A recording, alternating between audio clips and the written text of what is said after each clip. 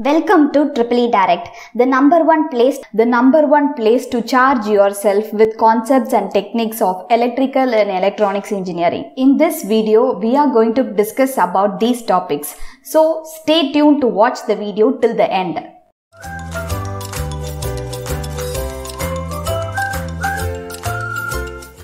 First, we will see the important terms in electric circuit. At first, we will see what is node. A node is a meeting point of two or more elements. Okay. For example, take this circuit here. This is a node. I name it as node A where the voltage source and the resistance meet. Similarly, this is also a node where two elements meet. This is also a node. This is also a node and this is also a node. I name this node as F. So, meeting point of two or more elements is called a node whereas meeting point of more than two elements more than two elements is the node A sorry node B and node E are the points where more than two elements meet. So B and E are called the principal nodes. They are called the principal nodes.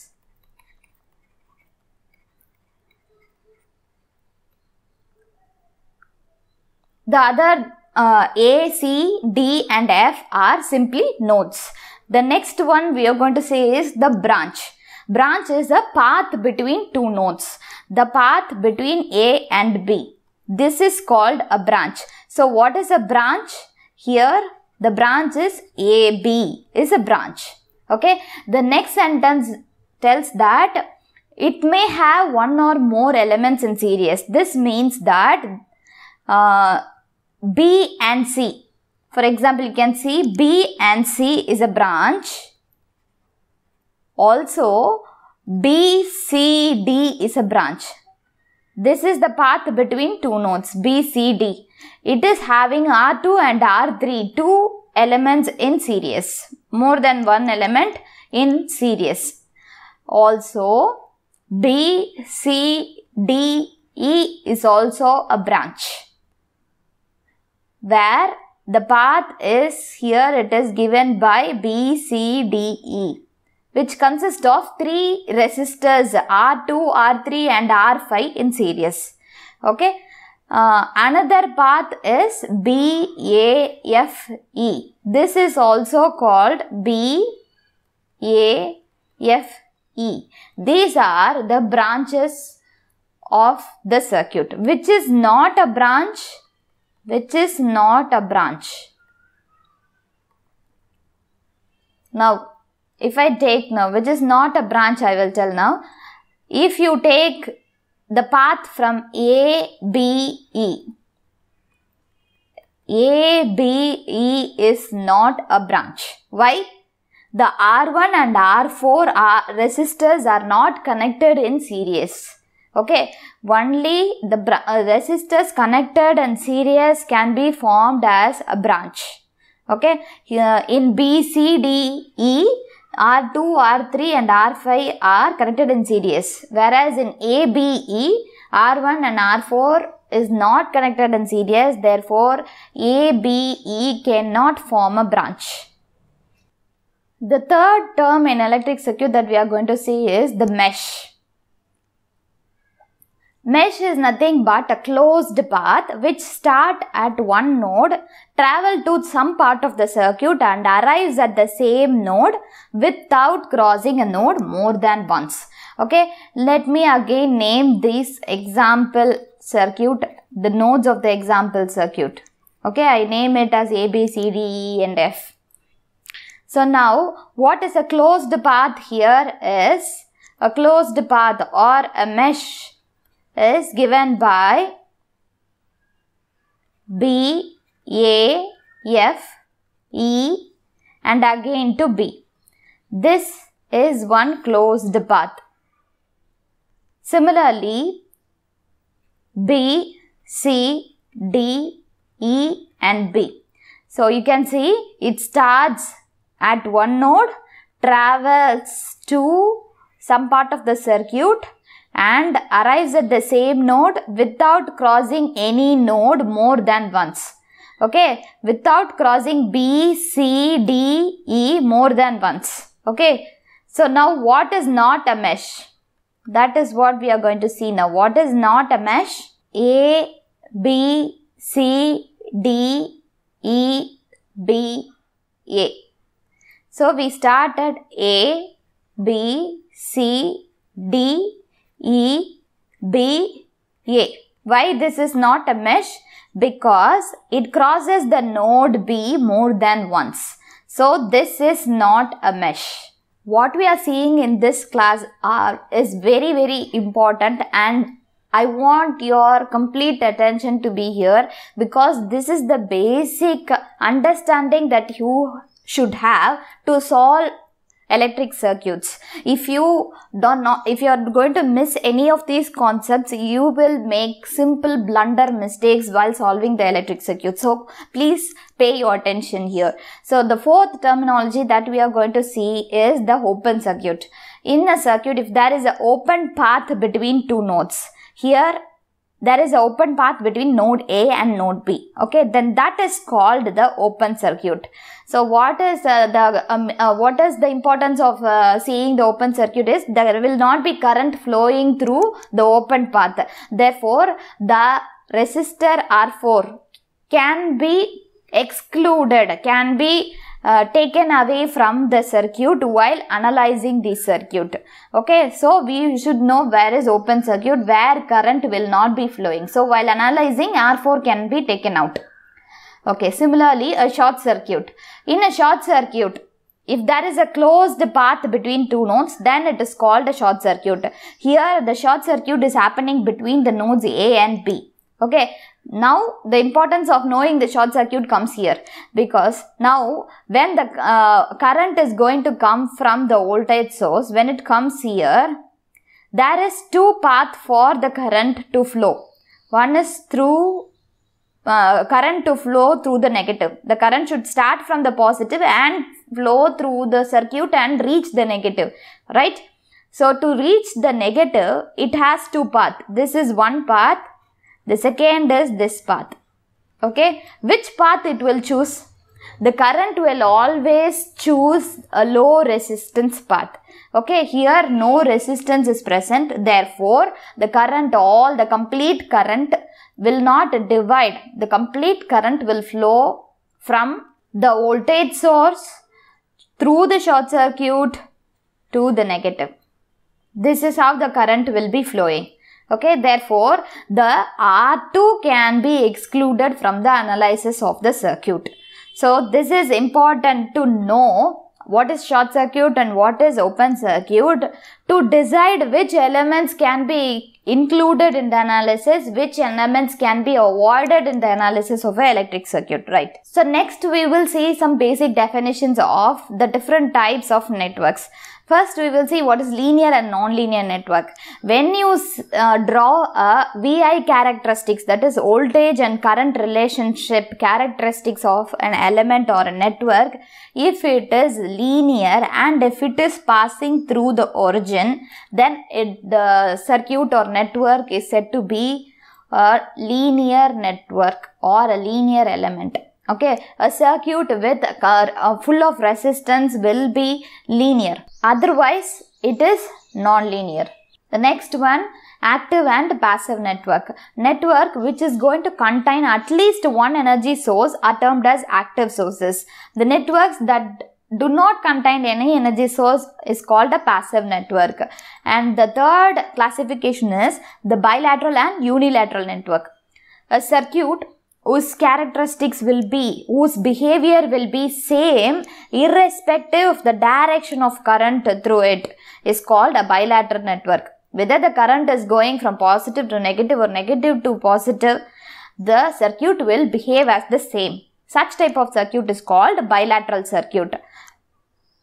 For example, in a resistor, current can flow either wise. Okay. So, the uh, circuit with resistors is a bilateral network whereas circuit with diodes will allow current only in one direction. it will block the current in the other direction. Therefore, it behaves differently for different directions of current.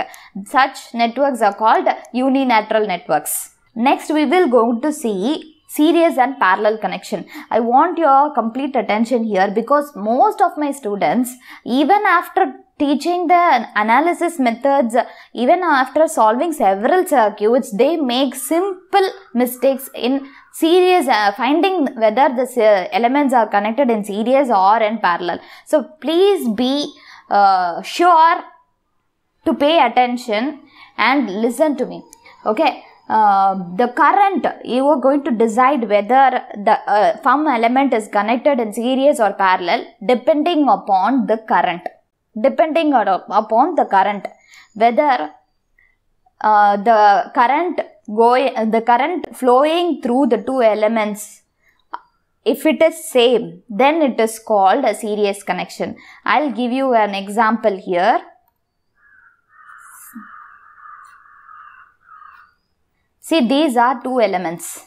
If a current is going to enter here anyway it have to come the same current have to come out here. Therefore the current through these two elements is not going to change. They are same. In that condition the two resistors are said to be in series. Now i will take another example.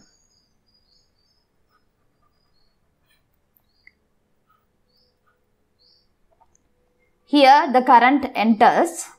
Now it has two paths for it. This is R1 and R2. It can flow through R1 and it can flow through R2. Therefore, the current will divide into two and part of the current will flow through R1 and part of the current will flow through R2. Therefore, the current entering it is not same. The current through the, both the resistor are not going to be the same. Therefore, these two Rn and R2 in such condition, they are not in series connection. This is how you decide whether two elements are connected in series or not. Right. So the next one is parallel connection. So you're going to decide whether two elements are parallel or not depending upon the voltage across it.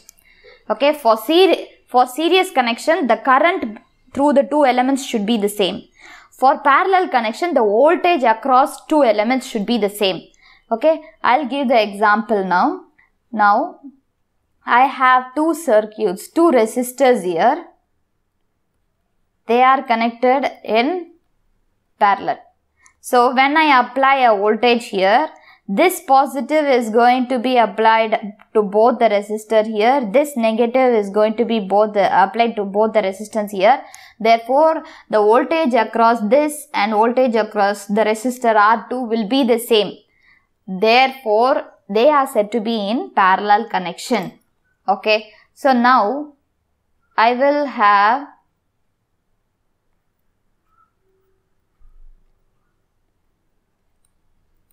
two resistors now. The same type of two resistors. So, now if I apply the voltage here it will be applied here and the negative of this will be applied here.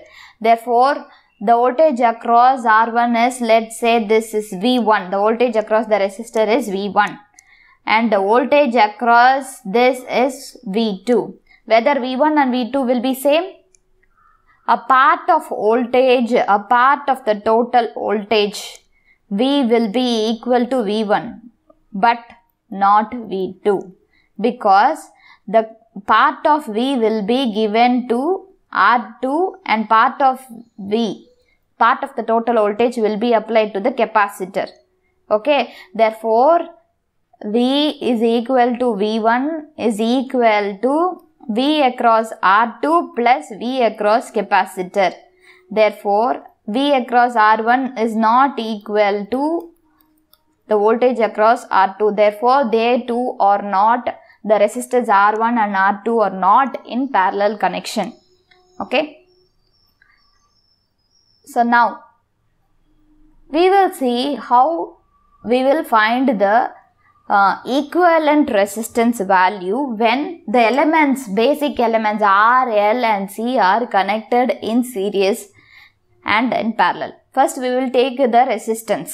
the resistance if they are connected in series the equivalent resistance can be obtained by adding the resistors connected adding the values of the resistors connected in series for parallel connections you can find out using this formula. 1 by R equivalent is equal to 1 by R1 plus 1 by R2 plus 1 by R3 okay? Similarly for inductance also if it if the inductances are connected in series if the inductances are connected in series we have L1 L2 and up to L uh, n number of inductors.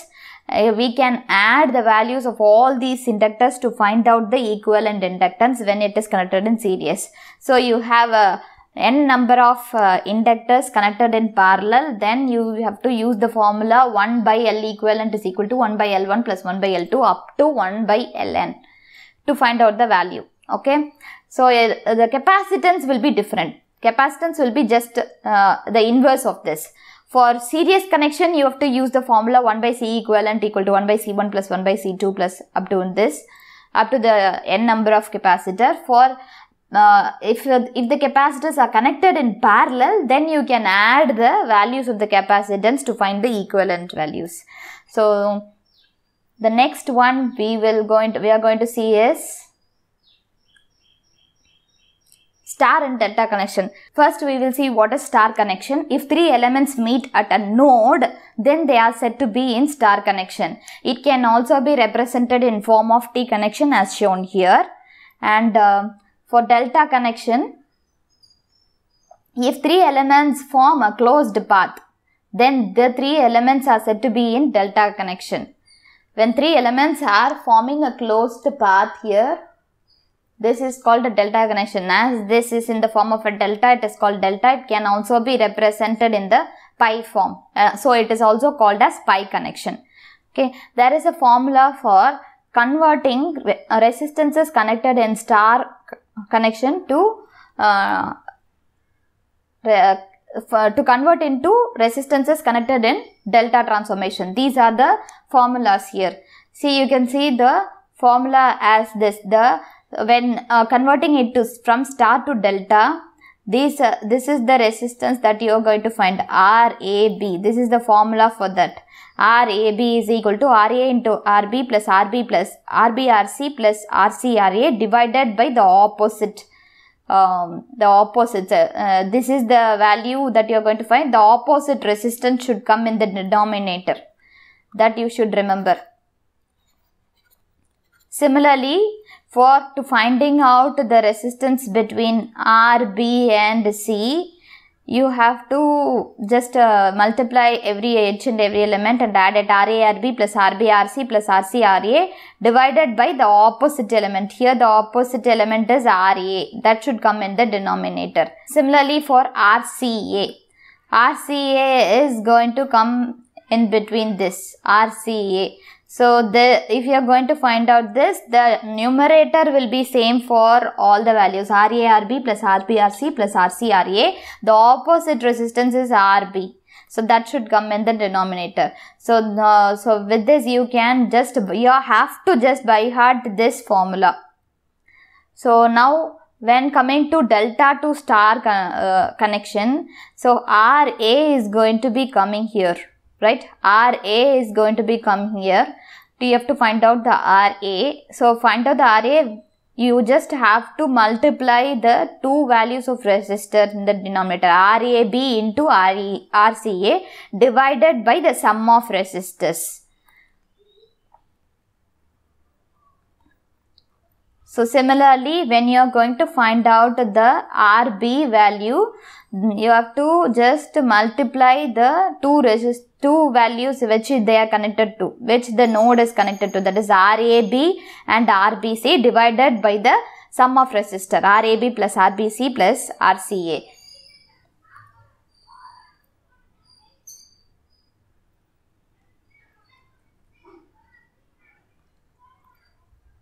Same for finding out the RC value and the RC is going to be connected in this node. The, the, the other two resistors in the delta connection that are connected to this node is RBC and RCA. You have to multiply both of these divided by the sum of resistance. You can find this. So using this, In star, star to delta, the numerator will be the common. In delta to star, the denominator will be common to all the three uh, resistors. So using these tips, you can just by heart this star to delta transformation formulas.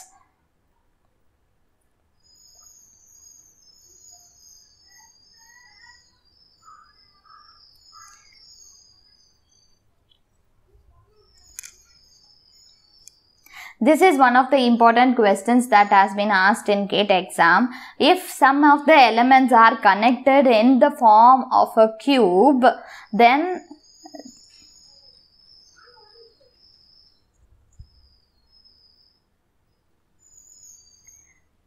then the equivalent values of the elements between the two opposite diagonal corners what are the diagonal corners? The diagonal is going to be coming between here and here. Between here. If you imagine that, you can find out. This is one lower corner. This is one top corner. This is one diagonal corner. If they are going to ask you for finding out these values, then it is called uh, then the equal uh, if they are going to ask for equivalent values between these it also means that they are opposite diagonal corners. And the lower bottom of this and this this is also diagonal corners. And another pair of diagonal corners are this is the lower corner this is the top corner so this is another diagonal corner or to opposite diagonal corners. So another one pair is here. This is one top, uh, sorry, uh, bottom corner and opposite top corner. They are all diagonal corners. If they are going to ask uh, for the equivalent value of that uh, resistor or inductor or capacitor between two opposite diagonal corners, then if it is a resistor, you are going to use this formula. The R equivalent is equal to 5R divided by 6. If the elements connected are L equal uh, uh, inductors, then the equivalent value of the inductor will be 5L by 6. And uh, if it is going to be a capacitor, then you are going to use the inverse value of that. That is 6 by 5 into C. Okay? So one point to note here is all the elements uh, in the resistor all the elements should be the same. All the z values should be same. Whether it is a resistor inductor or capacitor all the values of the resistor if they are same you can use this formula now we have come to a very important part of this uh, class so to understand the sign conventions, this is very, very important while solving the circuits. Okay. So you have to uh, just by heart and uh, if you are if you are just awakened from the sleep also you have to be very confident towards this concept okay when an element delivers energy when an element is going to supply energy to the network the current will leave that element at the positive terminal. See the first example. Here there is a voltage source. It is going to be the only supply source which is going to be giving power to this resistor. Therefore, the current will leave the element at positive terminal. See the second example. This is a current source. The current source is going to provide energy to the resistor here. So, here as the direction given by the current source is in this direction, is downward direction, the current is going to be coming out from here. Therefore, this is the positive terminal because as it is supplying energy to the resistor, the current will always leave the element at its positive terminal. Because the current leaves here, this is the positive terminal and this is the negative terminal. You should be very confident towards this. When the element delivers energy, current will leave at positive terminal. This and the second concept is uh, just uh, inverse of this. When an element is going to absorb the energy, the current will enter the element at positive terminal. Therefore, here the current enter the resistor at this terminal. Therefore, the this will be the positive terminal. This will be the negative terminal. Here the current enters here. Therefore, this is positive. This is negative. Here the um, resistor is the, the resistor here is dissipating the energy. It is absorbing the energy by dissipating in the form of heat. Here the uh, inductor is absorbing the energy from the circuit by storing the energy into it. So the therefore the current will enter the element at positive terminal. The capacitor is now absorbing the energy by storing energy in it. Therefore the current entering it should be the positive terminal and the opposite is the negative terminal. You should be very clear in this. When current is being supplied, the current will leave at the positive terminal sorry when energy is being supplied the current will leave at positive terminal when energy is being observed, the current will enter at positive terminal this is by heart this is the axiom theorem that you have to just by heart to do the uh, analysis of electrical circuits very correctly okay so now here is a special case in this okay so i said whenever a circuit whenever an element is going to supply electrical energy. Whenever here we have two sources 9 volt source and 5 volt source. Here both the sources are not going to supply energy to the resistor here. Only one source will be giving the power to the resistor. Another source will receive the power. Which will receive the power? The current will always flow from higher potential to lower potential, right? Higher potential to lower potential. This is 9 volt, this is 9 volt, 5 volt. So the current will be flowing through this. So in this case, the 9 volt is going to be supplying the energy. The 5 volt and a voltage source is going to be absorbing the energy. Therefore, current here will leave at positive terminal.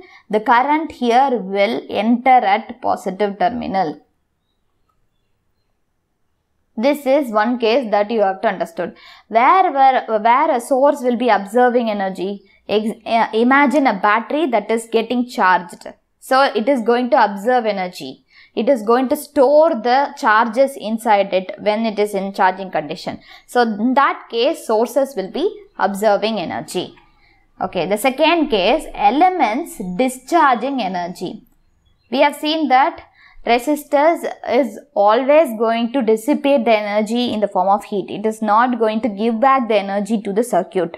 However, inductors and capacitors are meant to store the energy and release the energy. When they are going to store, when the circuit is switched on, the it will store the energy. When the circuit is switched off, it will discharge the energy stored in it into the entire circuit.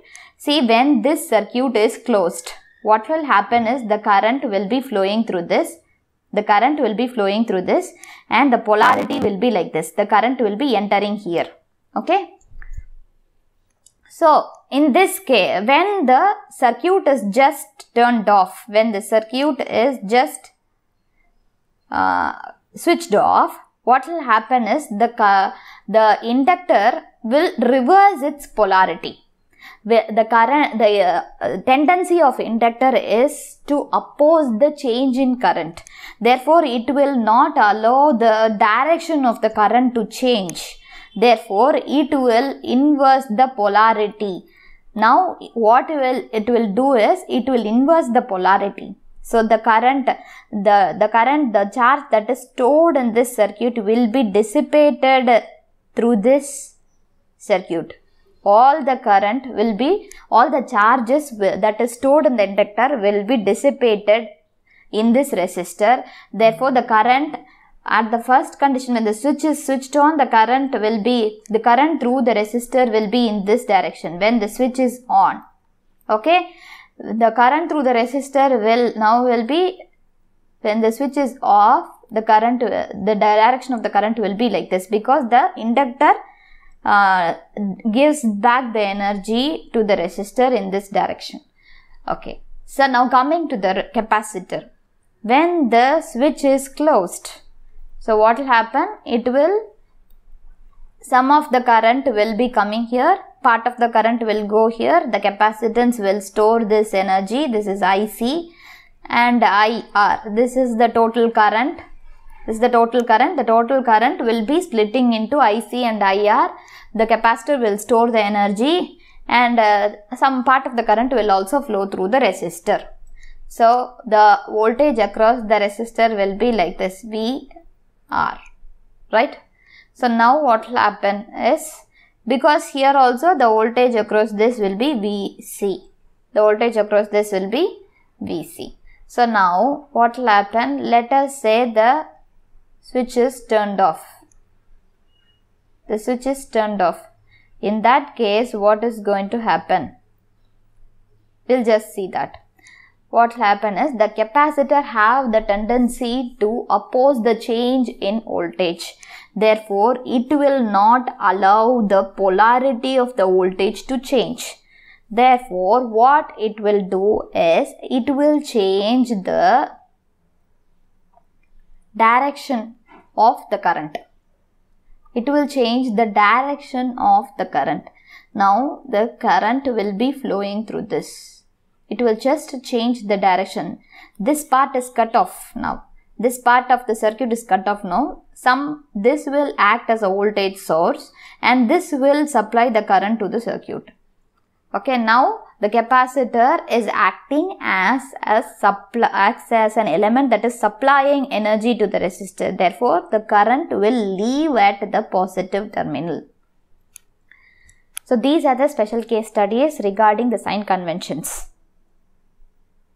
In our next video, we are going to see about the topics given here and much more. So remember to subscribe the channel and hit the notification bell. Please give a thumbs up to this video and share it with your friends which will help me reach more audience. You can join our weekly newsletter subscription through the link given in the description below, where you will receive a free mock test every week and also a free PDF of short notes on the topics covered in that week. If you have any specific request or clarifications on Triple E subjects, write to me on tripledirect2020 at gmail.com. Thank you and stay charged.